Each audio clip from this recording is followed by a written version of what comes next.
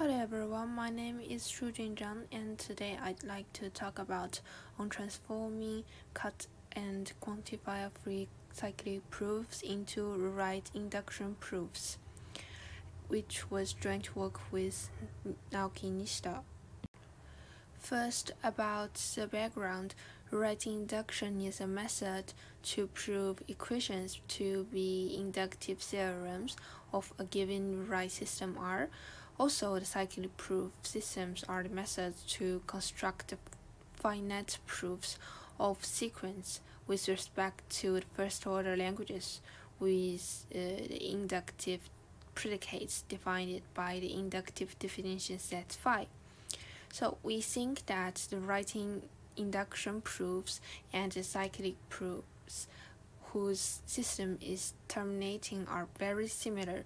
So here is the question how rewriting induction and cyclic proof systems differ regarding terminating systems. To solve this research problem, we would like to compare rewriting induction and cyclic proof systems. To approach to comparison is transforming the rewriting induction proofs and cyclic proofs into each other First step is transforming the inductive definition set phi into TRSR. According to the research last year, under these four assumptions, um, which is that uh, first is phi is GSC terminating, which means that the termination proved by the generalized term criterion, and phi is orthogonal, and there is no ordinary predicates in phi, and for any production, any variable in A1 to AM appears in A. So under these assumptions, we transform inductive definition set phi into an equivalent TRSR such that R is gsc terminating and confluent, and for the sequent is vivid with respect to phi if and only if the corresponding equation is an inductive theorem of R. Second, and which is the main talk today, is to transform a cyclic proof into an rewriting induction proof. And finally, we'll transform an rewriting induction proof into a cyclic proof as our future work. So our purpose today is to show that for a terminating inductive definition set phi, for a cyclic proof of a sequence, there exists an rewriting induction proof for the corresponding equation by transforming the cyclic proof into an rewriting induction proof. And our result in this paper is that under the assumptions A1 to A4 showed in the previous page, and other some new assumptions, A5 to A10 on the next slide, we transform sequent calculus rules, axiom or L, N, and R into rewrite rules RSCR such that an inductive theorem of R union RSCR is also an inductive theorem of R. Also, we will transform a cyclic proof of a sequence into an RI proof of the corresponding equation. Our result is based on this following theorem. The sequence is valid with respect to phi if and only if the corresponding equation is an inductive theorem of R. And here is the assumptions A5 to A10 on inductive definition set phi and cyclic proof P. P is quantifier free and uh, cut free, and each inductive definition has at most one premises. That means M here is no more than 1. And for any sequence gamma delta in P, the multiset gamma is empty or singleton, and delta is singleton.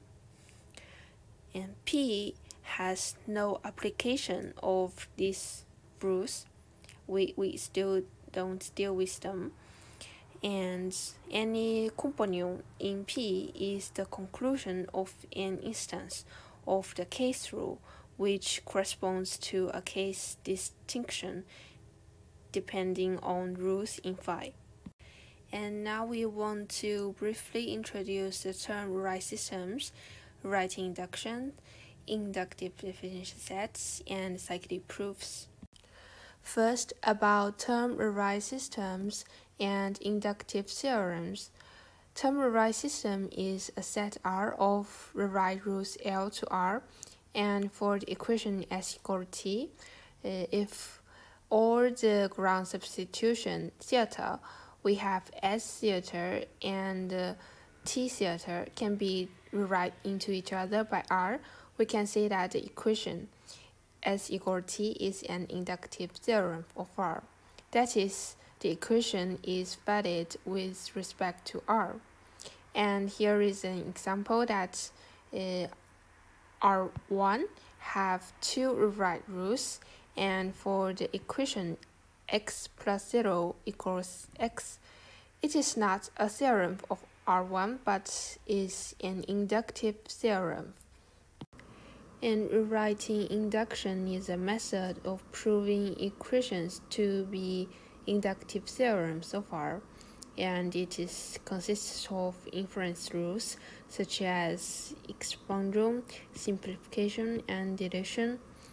And for the same example, TRS R1, we want to prove the equation x plus 0 equals x and we use this inference rules to make the set be an empty set. Thus, we can say that the equation is an inductive theorem of R and about inductive definition sets. Phi is a finite set of productions like this form. Here P, P1 to Pn are predicate symbols. As we have assumed the assumption A2, we don't deal with ordinary predicates now, and PT theta is true if and only if P1 T1 theta to PN TN theta are true. Here, look at this example. Phi 1 is an inductive definition set, and ESS0 is true in phi, but O0 is false. And EX or OX is fitted with respect to Phi 1. About sequent and cyclic proofs. This form is called sequent. Here gamma and delta are multisets of formulas. If all the formulas in gamma can make at least one formula in delta, this is fitted with respect to phi, then we can say the sequent is fitted with respect to phi. And cyclic proof is a finite proof tree consists of the applications, case P, subset, and rules for the sequent calculus and so on. And here is a simple example to prove the sequent EX or OX to NX. And we use the rules for the sequent calculus, case, and applications and subset to make the set of bud nodes and companions to make this finite proof tree. And here, 1 and 2.1.1 is a set of companions and bud nodes, and 2 and 1.2.1.1 is also a set of companions and bud nodes in this proof tree. And here is a theorem. If there is a cyclic proof for the sequent, then we can see that the sequence is valid with respect to phi. Then we are going to talking about transformation from inductive definition sets and sequence to TRS. First, for the term coding of sequence, we transformed the sequence and shows in this page.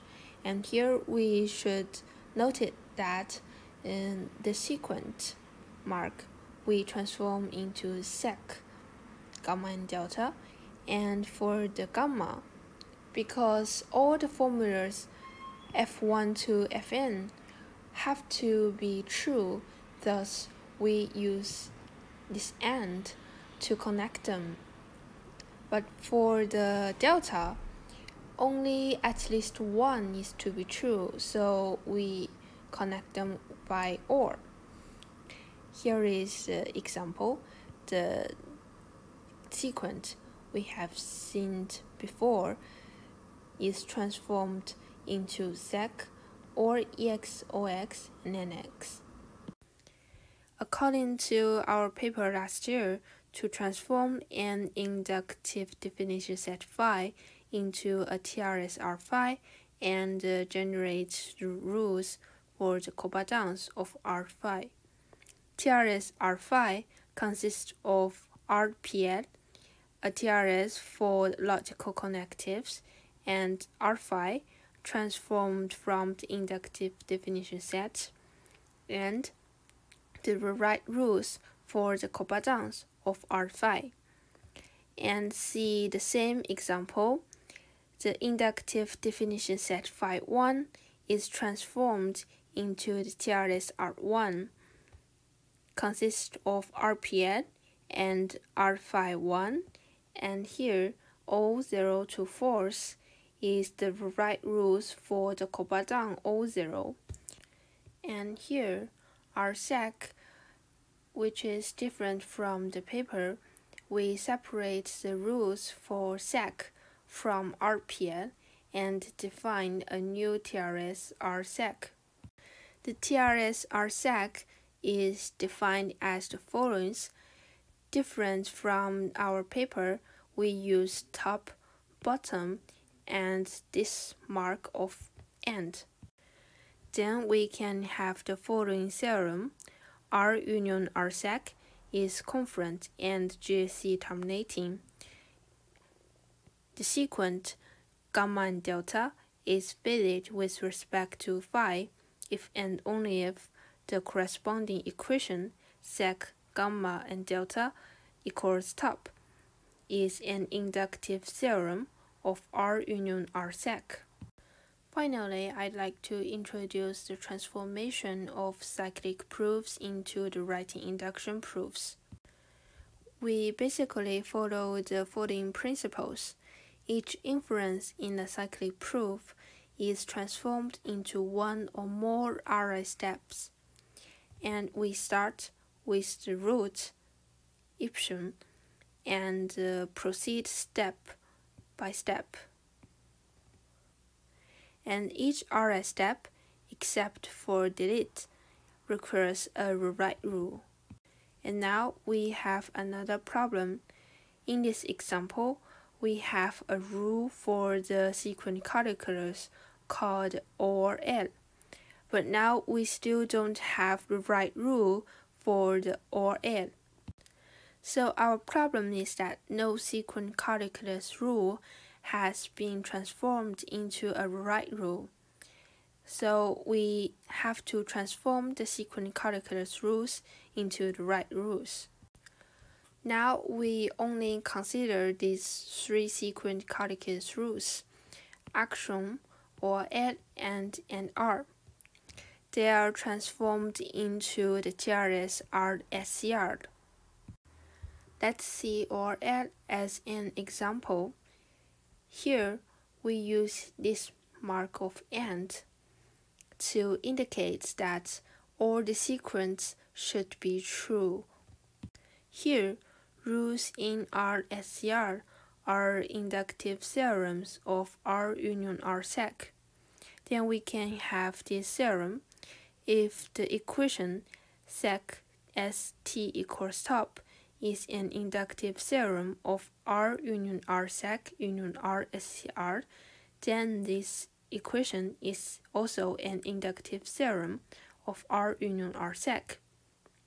According to this theorem, for the rewriting induction proofs, R union R sec union R SCR may be used instead of R union R sec. Then we can transform the cyclic proof into the Ri proof.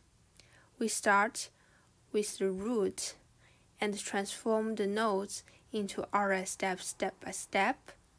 Each inference root transformed by the correspondence in the following table. During the transformation, equations for companions are added to H as rewrite rules at expand, and equations for the bud nodes are deleted by the added rules at simplify and delete. Here is an example of our transformation. We started at the root epsilon, we transform it into the equation sec or exox and x equals top. The first step is ORL. Since we have added the TRS RSCR, we can directly simplify it and postulate. Here, by the fact that both 1 and 2 can be proved, then epsilon can also be proved. Such a deletion rule has been proved, so here we first delete the epsilon. The next step is case E and case O, so we expand twice and added the companions sec ex and x to top and sec ox and x to top to the TRS. Here, for the Koppatan O0, although it didn't show in the cyclic proofs, in RI proof, we have to simplify it and delete it. Here is the application for the leaves, so we simplify several times into the equation top equals top and delete it. And here for the applications for the inner nodes, we just simplify once. For the subst, we generalize it. And here, for the bud nodes, we simplify by the added rows in H and delete the equation top equals top. Similarly, at right side, we simplify it and uh, generalize Finally, for the bud node, we also simplify it and delete it. We have this empty set. It means that our proof is finished and the equation is proved successfully. For the above transformation, we have the formulation. For a cyclic proof P with the root V0, transformation T phi P equals T phi V SV0 equals top and empty set. The detailed definition of the transformation is only shown here due to the time. Then we can have this lemma for a cyclic proof P of the sequence f and f prime. The transformation T phi P is an rewriting induction proof of the corresponding equation sec f f prime equals top. According to this lemma, we can have our main result that for a cyclic proof of the sequence f and f prime, there exists an rewriting induction proof of the corresponding equation sec f f prime equals top. Finally, for the conclusion, our result in this paper is that under the assumptions A1 to A10, we transformed axiom or add and and r into rewrite rules RSCR such that an inductive theorem of R union R SCR is an inductive theorem of R. And we also transformed a cyclic proof of a sequent into an rewriting induction proof of the corresponding equation.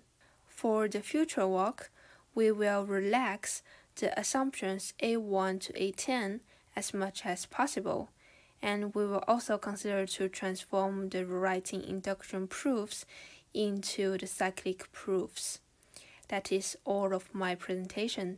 Thank you for your listening.